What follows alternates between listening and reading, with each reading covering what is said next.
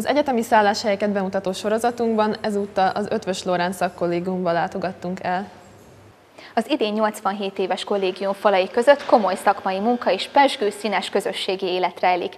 Bekukkantottunk hozzájuk, és utána jártunk, mit is jelent pontosan ötvösösnek lenni. Van egy épület az Aradi Vértanúk terének sarkán, amely az egyetemhez tartozik, ide mégis jókedvűen lépnek be a diákok. Az Ötvös Loránc szakkollégiumban járunk, amely Szeged legrégebbi szakkollégiuma.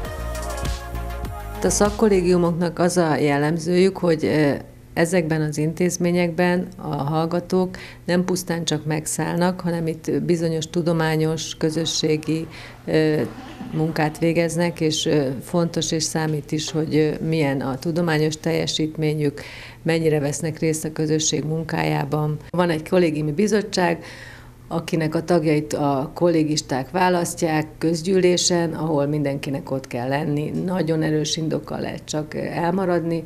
Van egy öttagú diákbizottság része, és vannak szeniorok, akik ugye régebbi óta laknak itt, PHD-sok ilyenek, és van a kollégiumi igazgató és a kollégiumi tanár. A látszólag szigorú keretek azonban nem jelentik azt, hogy a kollégiumban vasszigor uralkodna. A nagyjából 90 taggal rendelkező intézmény hallgatói rengeteg szabadidős és szakmai programból válogathatnak. A kollégiumban műhelyek és öntevékeny körök működnek, emellett tematikus estek és csapatépítő délutánok színesítik a kolisok életét. A sport szintén fontos alappillére az ötvös életének. Foci csapatuk, a Nami újság Gonnok úr évtizedek óta játszik az egyetemi bajnokságban. Nagyon szeretek itt lakni, mivel a szobák azok két fősek, ez a szegedi kollégiumok között egyedülálló, illetve ö, megvan a tanuláshoz optimális légkör, ugyanakkor a megfelelően pesgő ö, szegedi egyetemista diák élet is. A kollégium egyensúlyt teremt a tanulás és a közösségi élet között a rengeteg program által a kollégiumi könyvtárat említeném, ahova bármikor le tudok jönni, és a lehető legjobb körülmények között tudok tanulni, illetve készülni a vizsgáimra.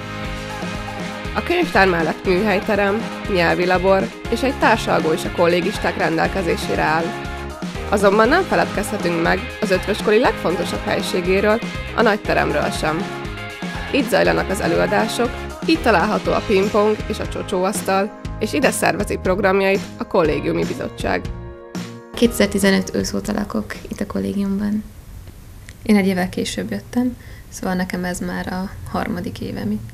Előtte kipróbáltam két másik kolit, szóval van valami összehasonlítási alapom, és úgy döntöttem, hogy maradok. Fontos mindannyiunknak az a, azok a csapatépítők, amiket főleg szeniorok, de úgy állandók a kollégiumi bizottság is szokott szervezni. Körbevezetéssel indul az év, amikor az első esetnek a úgymond beilleszkedését segítjük, azzal, hogy minden szinten, minden hallgatóval lehetőségük van, hogy találkozzanak. Ezt követően minden ünnephez kapcsolódva szervezünk programokat. Én amit kiemelnék, az, az, hogy kevesen vagyunk, relatíve kevesen vagyunk ebben a koriban. 78 fő lakik bent, és, és ezáltal van lehetőség mindenkit személyesen ismerni. A szinteken meg főleg kialakul egy erősebb kohéziós erő. Mindenki segít mindenkinek, mindig lehet valakihez fordulni, ha van valamilyen kérdésed. Karközi kollégium vagyunk, és az alatt azt értem, hogy azzal, hogy nekünk van egy szakterületünk, lehetőségünk lesz a karközüsség kapcsán arra, hogy megismerjünk más szakterületeket, és így szélesül a világkép, szélesedik a világképünk azzal, hogy más hallgatókkal is tudunk beszélgetni és megismerni az ő területeket, amivel foglalkoznak. Így telnek tehát a mindennapok az Ötvös Loránc szakkollégiumban. Az ódon falak között ötletek, barátságok, szerelmek, és persze OTDK dolgozatok születnek. Egy biztos, aki egyszer ötvösös lesz, az örökre az ismered.